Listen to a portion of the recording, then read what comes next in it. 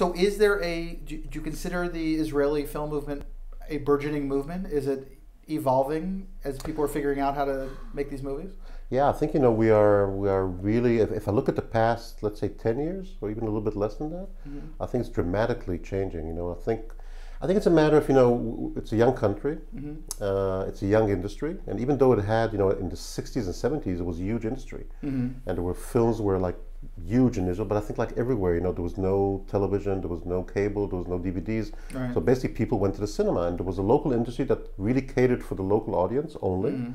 And there were here and there kind of films that broke out, and you know, and even I think back in the '60s there was already films nominated for uh, an, uh, an American Academy Award. So it's kind of funny. It has a kind of this mixed kind of history, but then there was a huge decline in the '90s. I think really the industry kind of fell into a kind of no man's land, and nobody could mm. figure out what we're supposed to do, including the local audience, which disappeared basically.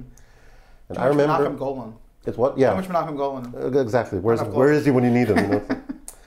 but, but it's interesting. You know, I, I remember in '93 I did a film called Zohar, which was about a local singer who was a, like a, you know a kind of cultural hero, and the film was a huge hit. But at the same time, at the cinemas was uh, this film of Harrison Ford, which now I forgot, The- Fugitive The Fugitive. Uh, and we were competing like you know at the same time same multiplexes same cinemas and it, it was amazing because we, we gave them a, a really strong fight and obviously they had you know the power of hollywood and everything we had the power of the local kind of myth and in the end i think they made about double the entries that we did which was okay reasonable you Yeah. know and uh, but that was probably the only film I can recall, even though it's mine. But uh, I, the only one I can recall that really kind of survived the '90s. And then I think in this decade, in the past decade, we saw a change. I think it's really mainly due to the fact that we, we film directors, became more aware politically.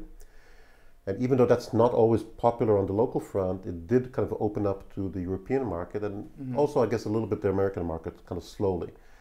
Um, and I think that kind of feedback and that kind of collaboration with Europe and the, and the fact that we kind of started thinking a little bit on a wider scale, a little bit on a kind of, you know, who is our audience and who are we trying to reach, it changed slowly, but actually quite rapidly. Uh, and you can see it in the results of the last three years. You know, there was an, an Israeli film in the last kind of five nominations for the Academy Awards here, which is, if you think about it objectively, that's, hey, you know, it's pretty amazing. yeah.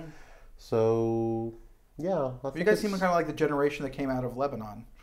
Post Lebanon, post Kahane, kind of. It's interesting because I'm not, you know, I'm I'm on the edge of that generation. Actually, Mm-hmm. I'm actually from the Yom Kippur War, you know, Mm. 1973, which is actually the most traumatic war in Israel's history, which Mm-hmm. was never dealt with properly in cinema, which maybe I have to do one day because that, you know, that's probably the only war where Israel was really getting close to, you know, to, to losing the war, which had implications, you know, in terms of the of the, the center of, of Israel, had huge implications. Uh, I, I was just reading recently, you know, that at some point on the second day of the war, General Dayan, you know, the famous general, sort of said to the prime minister, Golda Meir, a woman, he said, "Listen, I think we'll have to use the nuclear option," which even though Israel never sort of admitted that they have they, have, they have this option, but it was discussed. And When you think about that, that goes back, you know, it's kind of a Holocaust connection. It's all it all goes down to this kind of survival instinct, which Yeah. Israel has very strongly. And um, so I don't know. I think yeah, we're a generation that comes from traumas for sure, mm-hmm. political ones, military ones, war, uh, and also I think the social issues, which I think you know traditionally Israelis sort of said we have enough news every mm-hmm. day. We don't have to deal with that in the cinema. And I think I can say humbly that people like me sort of said, no, you know, we have to deal. We have to go mm-hmm. beyond the headlines. We have to go beyond what we read in the papers or see on television and really dig in. And I think on an international level, that's also what happened. Because if I think about it from, um, you know, from a subjective point of view, I sort of say, hey, I don't want people in the world to be fed by CNN or BBC. I mean, it's very good. They get the news, but let's go beyond. Let's understand the real conflict. Let's understand the people. And let's try and kind of put a human spotlight on, on things which normally people kind of make their choices between, you know, right or wrong, Right. just like that. And I think everything, as we know, everywhere is much more complex than that. What seems that's where the great cinema comes out of for every country is usually. I mean, the American cinema I think has suffered from not having a real war, uh, one that we could have lost at least in you know 40 years. Mm. And it seems like that whole 70s generation that everybody reveres so much came out of the subtext of Vietnam, which you couldn't really speak about, but you made they made movies about that were about seemed to be about other things. But you know, it's interesting. I grew up, uh, part of my high school was, I lived in Brazil because my father was a diplomat there. I went to an American high school, which was a very strong American high school. It was late 60s, early 70s. the school was kind of divided almost half and you could see it almost like Mm. between the all Americans, you know, with the short hair and the crew cuts, Mm-hmm. and the guys with long hair who went with kind of peace, you know, black peace signs on on their. It was a big thing because it was the height of the Vietnam issue. Mm-hmm. And I remember my teacher, my English teacher, literature teacher, Mrs. Walter, bless her. Uh, she sort of said, "Okay, forget you know, forget the Russian classics, forget the French classics. I want you to read uh, One Flew Over the Cuckoo's Nest." Mm. And that for somebody who came from Israel was 15 years old, that was mind blowing. you know, for me it was like, and she would also sort of say, "Okay, today we learn Love Child, the Supremes. Mm. Let's look at it as poetry. Let's see Mm-hmm. what you know what what is the story there." And you know, for me, I mean, we're supposed to bring songs to the class, and I brought a song about the Wailing Wall in Jerusalem. You know, which is, oh my God, you know. I really changed it. I think that was so, you know, in terms of this Americanism Right. and the fact that, you know, America, let's say, took a long time to deal, let's say, with Vietnam, never dealt with the other side. You know, when I made Cup mm-hmm. Final, it's already now 18 years ago, it was about an Israeli captured by Palestinians during the war in Lebanon, 1982. Mm-hmm. I was approached about a remake in an American mm-hmm. context, uh, but and it never happened. But when you think about it, you know, you never saw Vietnamese from North Vietnam in an American film as a human being. There were always the torturers, and that's it. And uh, you know, I can't really explain why. I mean, I, we, Right. can, we can probably explain easily why, but uh, but I think you know, for me, my my social and political awareness actually came from an American education in a way, which I find maybe you know, in, in the long term, was really interesting. Though it seems that conflict is true with a lot of Israelis at this point. That there's that the the definitive nature of the birth of Israel and the, the need to defend Israel, and as you say, going to to seventy Mhm. that it was there was no question. And then in the last fifteen years, it seems to be you know that people of, of similar stripes Yeah. who really believe in Israel, but are now questioning some of the methodology, methodologies and everything is it's a real thing. Absolutely. I think it's also, you know, it's due to the fact that really Israeli society is an ever-changing society. You know, there was a big Russian immigration 20 years ago that changed, you know, really physically. There's a million Russians in the country, so it makes the whole thing different. Um, yeah, I mean, you know, for me, and I think for, for many, there's always this debate about Israeli cinema being quite provocative in terms of mm-hmm. Israeli issues. And you know, immediately the government gets a little bit touchy about all that. And we always claim, and I still claim it today, Israel's films are probably the best diplomats that Israel has. You know, mm. because the best PR, even if the subject is controversial, mm-hmm. you know, asking questions is, is the thing you're supposed to do. And you know, for me personally, I will always do that. You know, no matter what the pressures are, and the pressures kind of go. You know, we're sitting here, and this week the, the parliament, the Knesset in Israel, passed. I don't know how to call it, not a bill, but passed a decision to investigate the left-wing uh, organizations, human humanita- humanitarian organizations that are kind of scrutinizing the Israeli military in the West Bank. Why? Because they're traitors. Right. And you know, these are people, you know, it's all my friends basically. Yeah. So, and you kind of think, you know, how the hell did that pass in, in the Knesset? But it did. Yeah. So you kind of get your worries, you know, from time to time, even though in the end I think, you know, Israel is, is really a true democracy. Mhm. On the other hand, you kind of have these days where you kind of feel, hey, you know, we've got to do something. And what I can do is films. That's what I really try to do. Well, I know Ari Folman was shocked when his movie came out that it wasn't the, uh, you know, wasn't getting the ire from the right in Israel. He felt he was setting himself up to be, you know, torn down, and then they kind of embrace the film in spite of it. But that's interesting. I think that's a very good uh, point because I think once you do films which are which deal with the Israeli psyche in a way, Mhm. and you know what motivates the Israelis, because you know Waltz with Bashir was very provocative, but it was from an Israeli point of view. Mhm. It was not about from the Arab point of view. It was really about it, it kind of dealt with you know the Israeli soldiers and why they didn't do anything when this massacre was happening. You know, bottom line, let's say. Right. And I think that made it, in a way, easier for Israelis to absorb. Hmm. I think the same thing happened with the, the year before. There was uh, before the, the film about Israeli soldiers and uh, the, the kind of you know in the in, in the Hermon mountain on the Golan Heights overlooking Lebanon, which was also a kind of internal discussion about you know Israeli morals, mm-hmm. etc., etc. I think you know once I felt it on you know my own experience with my own films is that you know once I introduce Palestinians on the screen mm-hmm. and make them human, then the trouble begins. you know? Yeah. Otherwise, it's it's easier. I don't think Ari had a you know terribly easy time with Right. film, and yet there was kind of a consensus in a way that Yeah. okay, it's it's okay to deal with our own problems because you know the world has changed. You know, I think 30 years ago nobody would discuss um, you know shell shock. It was almost you could not admit it. We Right. Israelis, well, no, we're strong, and now you know it's something that everybody deals with. So I think that's part of the process in a way. And, and a film like Waltz with Bashir is exactly that. It's dealing with those demons from from you know 20 something years ago. So does your film have is it about subtext or does it just have a little bit of subtext in the political side? Well, I think it depends on you know where you're coming from. I think you know when I think about it, I sort of say, okay, the film is triggered off by the death of a foreign worker who died in a suicide bomb in Jerusalem. Enough mm. said in a way. You know, it's like all these elements are totally right. political, totally social, are burning issues, and uh, that's where the film begins. Then it ventures into different areas and kind of different um, you know schools of thought, I guess, in terms of you know where it's going politically speaking.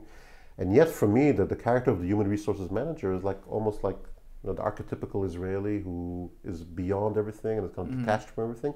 And suddenly, at this point in his life, has to face himself, has to face the reality of this story and the reality of this dead woman, and then has to face the reality of his own life, you know, versus his daughter, his wife, his community, his workers, his boss, himself. Mm-hmm.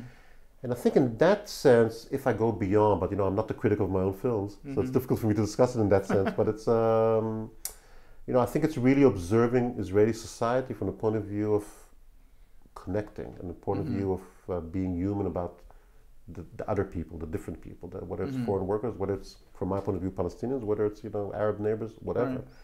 And in that sense, I think the film is very political. On the other hand, it is wrapped in a nice way, I think, with a very clear, you know, ongoing kind of narrative that moves from A to B, from mm-hmm. Jerusalem to Romania to, to, the outskirts of East Europe, and uh, has the elements. At some point, it becomes you know almost a classic American road movie yeah. with a body, which you know we've seen a lot of films with a body and a lot of road movies, obviously. Yeah. This one kind of makes this has this twist because of, because of those elements, I think, which mm-hmm. are you mm-hmm. know this mysterious woman who's dead. Who was she? Why was she? Why did she right. leave her country and come to another country to work? Etc., etc. Well, we certainly could do it with 9/11 in this country, totally. and you know have some of those same elements. Yeah. So totally. it seems to be more of an issue in Europe, and I guess Israel. You're saying with the Russian population coming in. It's not even about the Russian. No, it's about sorry.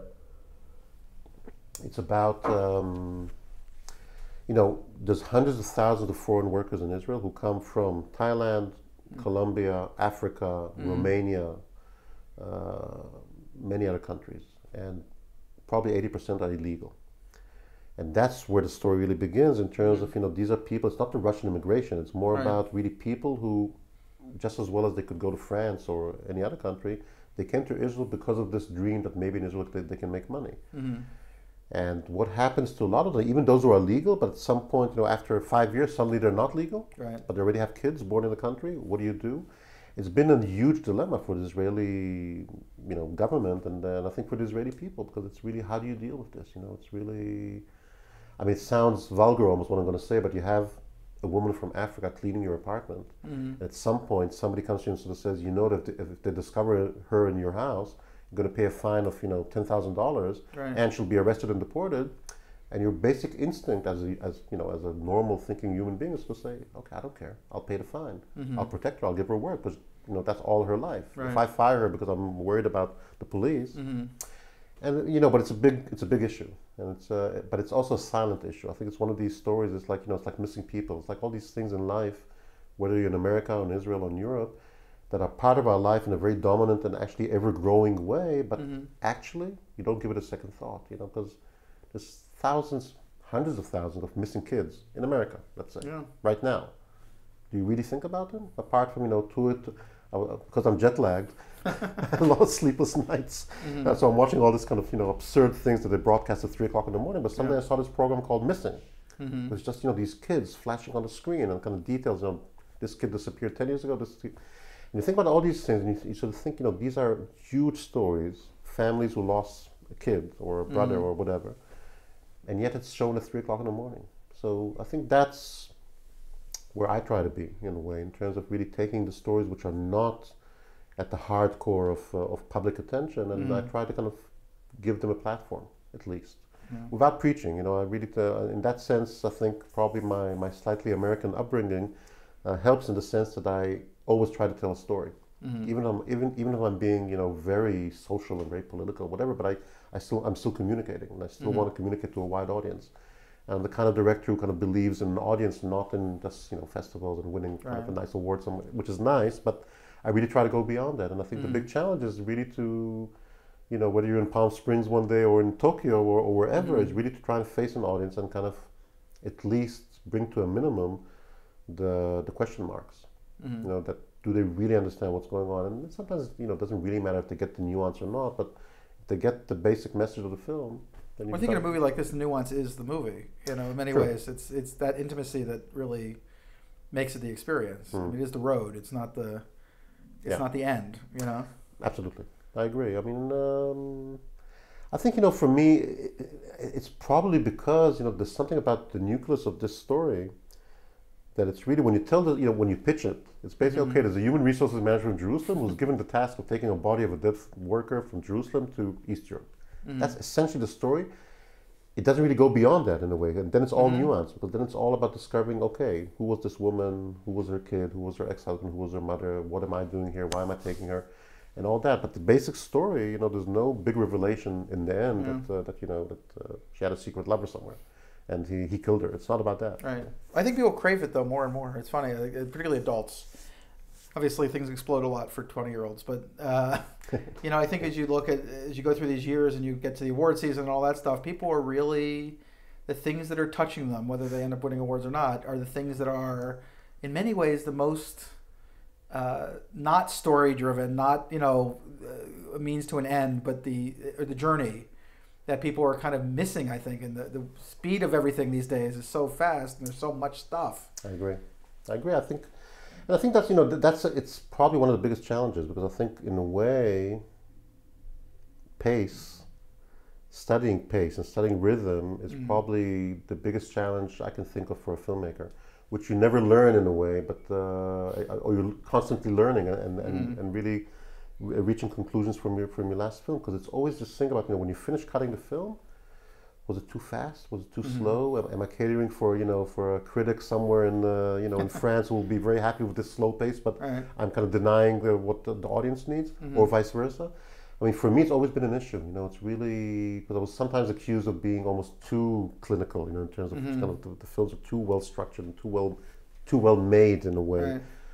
And yet coming from a you know in general a genre of what's called you know world cinema or you know Mhm. foreign language or subtitled movies and yet you know I, i'm really always testing my ability to mix this kind of um, american approach let's call it broadly Mhm. speaking uh, and the kind of you know east european or asian or, or, or even central european uh, school of thought which is um, Mhm. is different and I think those tensions, you know, when when I think about my, my, my film training, which I went to the National Film School in England, which was Mhm. exactly this interesting combination because it was kind of country which this was the early uh, 80s or late 70s. Mhm.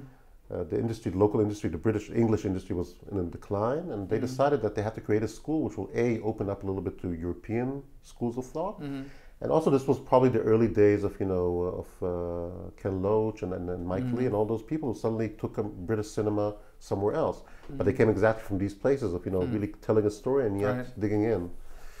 So And Mike's still doing it. yeah, absolutely. I mean, you know, it's. I think it's. I think it's always difficult, you know, really to sort of position yourself as a filmmaker in terms of you know what kind of stories do you want to tell, and also coming from a you know from a small industry, you sort of say Mhm. to yourself, okay, can I afford next time to like you know like any average big American director will say, okay, my next film is going to be a musical Mhm. because I want to try a musical. You know, I, I can afford to spend six, eight, twelve months on, on a Right. musical. I think we Israelis, at least, we don't have that luxury in a way because you can't just say, Mhm. okay, I'm going to make an Israeli musical. Not really. Well, you have to put a lot of sex in it, maybe. I don't, I don't A lot of sex will work. That's what the Spanish do, I guess. right. and they want to make musicals. right. But it is fascinating how certain, you know, the most, the biggest filmmakers in the United States have, in the last twenty years, really have their editor as as consi- in a consistent spot. You know, the Sally Menkes and the Thelma Schoonmakers, and Mm, yeah. who really create the metronome Yes. in some ways, and that's the, you know, that's like you got to have that drummer behind you It's keeping true. that rhythm. It's true, which is interesting because I, you know, I, I was always searching for editors, and in my last four films, since Mhm. Syrian Bride, Lemon Tree, Human Resources, and now the film that I'm actually finishing now, Playoff, I have the same editor, hmm uh, a woman, and I think we really discovered a mutual kind of pace. But even we Mhm. are kind of, you know, we always kind of ask ourselves, you know, where are we going with this? And, and you sometimes give up things like like everybody does, you know, the, the kind of scenes that remain on the Yeah. cutting room floor. You never know if you did the right thing or not. You know. Well, it's like Thelma and Marty are not young people. Yeah. But you see something like Shutter Island, you go, they're still playing. Sure. They're still finding new Sure. rhythms and new things to do that you know they haven't done before. I think once you stop playing, you're, you're dead. You know, so I think Yeah. you know the, the whole thing is about playing with the material, playing with the ideas, and then kind of uh, you know taking it to another level. I think you're always testing yourself and testing your limits and testing to sort of see where you can go with your notion of cinema. Which you know, I mean, for me, when I think about who do I admire, it's Mhm. always complex. It's always mixed because you know there's some days where I sort of say, okay, Polanski is the greatest filmmaker ever because he really knows how to do exactly these kind of things Mhm. this kind of balance. On the other hand, you sometimes miss people like you know Jean Renoir from like 100s of Mhm. years ago. it's kind of, I don't know. It's really mixed in that sense, and I kind Yeah. of feel that I'm maybe blessed in the sense of uh, being open to almost you know I, learn from every film, even a film on the plane, you know, which is some kind of piece of you know two-hour garbage, but you can learn something because suddenly there's a wonderful frame or a Mhm. wonderful performance or something. Well, Mike Leigh actually said a few months ago that you know if you see one of his films on a plane, turn it off. Don't watch it. Those are his instructions. Do not watch my film on a plane, Yeah, that's true. no matter what you do. Um, so, were you a film geek as a kid? Yeah, I think I started. It's almost a classic story. I mean, my father was a scientist. Mm-hmm. But he always he always had cameras in the house, and uh, I think when I was 13, I got my first eight millimeter camera. Mm-hmm. Started doing some short films. It's almost a boring story. It's like a, short films, editing, then being you know making some bigger films. Then I went to university straight after the army, which was 3 Mhm. years. I was supposed to be a photographer in the army. It never happened because of the Huh. war in '73, so it kind of didn't materialize. But I was always into that. Yeah, it's always like. Uh, the Were there movies you saw that you remember that were particularly influential, or were they? Well, it depends. If you're talking, you know, if, if you're talking 16 years old, then Mhm. probably the two films that had a great influence on me, on me in, in one week were Five Easy Pieces, Mm-hmm. which I don't know. Somehow I was 16. I sort of felt, okay, this man on the screen, that's me. That's it. And I went and saw the film like five times during that week. Mm-hmm. And on the other hand, If, you know, the Lindsay Anderson film Mhm. with Malcolm McDowell, which is about you know this revolution in the public school in England and all Mhm. that, which I felt, okay, this is me. You know, it's like burning the school down and all that. Mm-hmm. And those two films, I think, in a way, stuck with me for a while. Earlier than that, I think I was a kid, almost like any kid. You know, I, I loved. It's funny, you know, a, a month ago, I was asked by an Israeli paper to Mhm. newspaper to discuss a film from my childhood, and I immediately said, God knows why, El Cid, Hmm. Charlton Heston. You know, some kind of, a kind of ridiculous film, let's say, but actually not. I, and then I found myself going to IMDb to kind of check if I'm not totally talking nonsense. Right. It's Anthony Mann, you know, and he's a great director. Mhm. And I studied him at, at, at film school, so it's kind of ah, okay, so maybe it's not such a bad choice. Mm-hmm. And you know, if you think about Charlton Heston with this kind of okay, on one hand, he, had, he did some really horrible. Sorry, sorry, I apologize. Uh, and yet he was in um, the Orson Welles film with the amazing Oh yes. Touch of uh, Evil. Touch of Evil. Yeah. You know, and it's kind of, that changed your perception of this Yeah. guy. So I think, you know, as a kid, those are the kind of films I really loved because I grew up in a small, except for my American upbringing, I grew up in a small town in the south of Israel, Mm-hmm. and we had a lot of big cinemas. You know, the not multiplexes, but really Mhm. big, beautiful cinemas, and uh, we saw all the, you know, from El Cid to Magnificent 7 Mm-hmm. which are all these kind of icons. You know, which years later you study and you suddenly realize, okay, it's actually Kurosawa turned into a western. So all these things are, you know, it's beautiful. I think in a way that even now mm-hmm. so many years later, you can connect with films from your childhood, but in a different perspective, you know, and kind of really sort of see that actually things that caught you as a child actually have a connection with your kind of formal film studies and, and the way you were brought Mm. up later, and then it it actually all stays with you. It is funny how it sticks. It's, amazing. It could be Jerry. Lewis, even. It could be anything. Yeah. It's, uh, I remember as a kid in New York, I had a huge trauma because I was supposed to go to one of these shows that Jerry Lewis did in, uh, you know, to raise money for kids Mhm. and everything. And my dad couldn't find parking. And at some point we just went home. It's like something that stuck with me. I missed Jerry Lewis on stage, you know, and, and all that. And, and yet the compensation was his films. And again, Right. you know, you go for years thinking, why did I love Jerry Lewis? And then you suddenly see the Scorsese film, you know, the, Mhm. again, King of Comedy. Yeah. yeah. And it's again, okay, different perspective. yeah. So, yeah. My generation is the HBO generation. Okay. I'm in my mid 40s, so like you talk to filmmakers who are around my age, right. every one of them watched movies over and over and over again on HBO, and it's Right. That's skewed the the survey, I think, on some level, because Right. we're now we are the first generation, I guess, that saw these movies not in this the one great screen and Right. had that experience, and that stuck with us, but seeing Right. them 20 times Right. and what that means. Yeah. I don't know if it's better or worse. I don't know. I'm not sure. I think in the end, you know, uh, this debate about where, you know, I mean, obviously, I think like all of us, we all love the big screen and we miss it sometimes, and it's Mhm. rare to find it, but you know, more and more. But uh, but in the end, I don't really care. It's like if, if somebody watches my film on, on an iPhone, fine. You know, if Mhm. he likes that, why not? So, do you look back much? Are you a person who's thinking about your old films, or Only recently. Oh, on, on, old, on my old film? Yeah. Hmm, not really. Not really. I think if I look back at my own films, it's only because I'm depressed. no, I mean, not up? really. You know, I, look at my films, and sometimes I, I you know, I, I occasionally see them because I go to a screening somewhere in some festival or whatever. Mhm. It's always interesting to look at your films and kind of sort of see where you made the mistakes. I think that's the main main reason. And uh, but beyond that, on the other hand, yeah, I'm, I'm not the kind of guy sort of you know I love my films basically, Mhm. and, and even the old ones which are really pretty bad. It's uh, you can learn something and you can sort of see where you went wrong in terms of uh, you know the things we were discussing before, pace, directing actors. Which you know for me over the years it became like the number one issue for me is that really to make sure that all the performances on screen are, are perfect. I think you know one guy who comes with the pizza and opens the door and says, "Here's your pizza." If he Mhm. doesn't deliver that line properly, it can destroy the whole film. So in a way, I'm really I've become quite fanatic about really making sure Mhm. that people on screen, which in the end is what counts, Mhm. uh, really work. And You then don't of seem course, like a fanatic. I don't know. Are you secretly a fanatic I'm, on is, set? I'm Israeli. Come on, you know. Just comes with the territory. I'm a quiet fanatic. I mean, I'm, I'm, I'm it's not about f- being fanatic, I guess, in the, in the end. It's really about being meticulous and it's just making sure. And I can drive people crazy in terms of, you Mhm. know, 2 a.m. in the morning, you know, making sure that things happen the next day. Because in the end, I think being a director is a very, very low, and it doesn't matter, I think, if you're producing a 20, you know, 200,000 million film or, or a $20,000 film Mhm. in the end it's a very lonely job to a certain extent and in the end you you know you're collaborating with a lot of people that really i thinking you have to deliver to them what your Mhm. expectations are and that's what they expect from you Mhm. and if you don't if you're not able to communicate and not able to kind of really sort of say okay this is what i want this is what i need it just won't happen Mm. and i think in the end in that sense i feel that you know when i say being fanatic it's really about talking and being obsessive about what you need because in the end if it's not there you're going to regret it and uh, and obviously it happens anyway because you know people don't always deliver what they're supposed to, and then you have Mhm. your tantrums on the set. But but in that, it's really not about that. I think it's really about facing yourself and understanding what you want from yourself. Mhm. And once you're clear towards your own uh, understanding, it, it becomes easy because I think people who work on films in general, I think Mhm. and it doesn't matter if they come from a tough union or they're or they're your friends. People like to be part of this creative process and make a film together.